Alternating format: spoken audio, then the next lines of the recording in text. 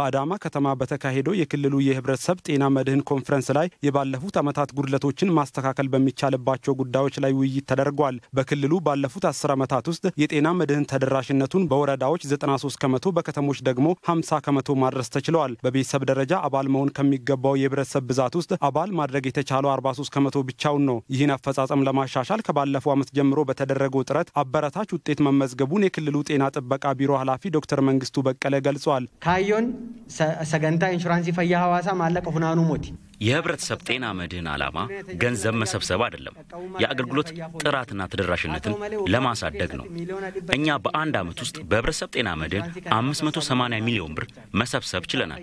tajaajilaaf miliyoona dhibba shanii fi miliyoona saddeettama kan ta'u waggaa tokko keessatti funaanuun danda'amee jira ይቻል በታህሳስ ወር በተደረገው ንቅናቄ ብቻ ከአንድ ሚሊዮን በላይ አዳዲስ አባል ማፍራት መቻሉን የገለጹት ኃላፊው በዘንድሮ ዓመት መጨረሻ የክልሉ ወረዳዎችንና ከተሞችን በሙሉ ተደራሽ ለማድረግ ውጥን መያዙን ገልጸዋል። በዚህም ከአንድ ነጥብ አራት ቢሊዮን ብር በላይ ይሰበሰባል ነው ያሉት። የኮንፈረንሱ ተሳታፊዎች የመድኃኒት አቅርቦት፣ የአገልግሎት ጥራት፣ የተሰበሰበውን ገንዘብ በወቅቱ ገቢ ከማድረግ ጋር ተያይዞ የሚታዩ ችግሮች እንዲፈቱ ጠይቀዋል። የፌዴራል የጤና መድህን ኤጀንሲ ዋና ዳይሬክተር ወይዘሮ ፍሬዎት አበበ የአገልግሎቱን ቀጣይነት ለማረጋገጥ ቀልጣፋ የፋይናንስ አስተዳደርና የአመራር ቁርጠኝነት ወሳኝ መሆኑን ተናግረዋል። አንደኛው የአመራር commitment ነው።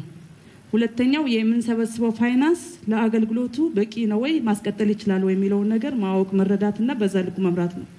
ሶስተኛ የምንሰጠው ጤና አገልግሎት ማህበረሰቡ በኢንሹራንስ አባል ሆኖ እንዲቀጥል ማድረግ የሚችል ነው ወይ የሚለው ነገር ሶስቱ ላይ ከሰራ ኢንሹራንስ በየአመቱ እንደዚህ አይነት ቅስቀሳ ላያስፈልገው ይችላል።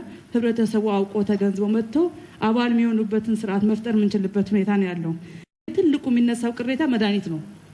መድኃኒት እንግዲህ መቼም ቢሆን መቶ percent ላይሟላ ይችላል። ግን ምን ያህል ጤና ተቋሞቻችን ቀድሞ ፕላን አድርጎ stock አቸውን አይተው በ stock አቸው መሰረት እየገዙ ነው መድኃኒት manage እያደረጉ ያሉት የሚለው ነገር ዞር ብሎ ተቋም መገምገም ያስፈልጋል።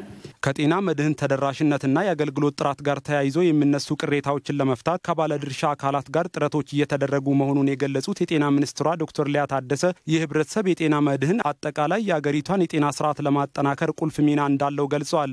በርካታ ሰዎች አባል almost ሁሉንም ማህበረሰብ ወይም መግባት ያለበት eligible የሆነው ሁሉ አባል መሆን ሲችል በቂ ገንዘብ መሰብሰብ ሲችል የጤና ስርዓቱን የሚደገሙበት ተቋማት በቂ የሆነ መድኃኒት ለማቅረብ የተሻለ ጥራት ያለው አገልግሎት ለመስጠት አቅም የሚፈጠርበት ሁኔታ ነው። ስለዚህ ያንን ግለሰብ መደገፍ ብቻ ሳይሆን የጤና ስርዓቱም እንዲጠናከር ቁልፍ ሚና ስለሚኖረው በኮሚኒኬሽናችንም ለማህበረሰቡ በተለይ ወደ በዚህ ንቅናቄ ስራ ውስጥ እና አባላትን ለማፍራት በምናደርግበት ጥረት ውስጥ እነዚህ ጉዳዮች በጣም clearly communicated መሆን አለባቸው።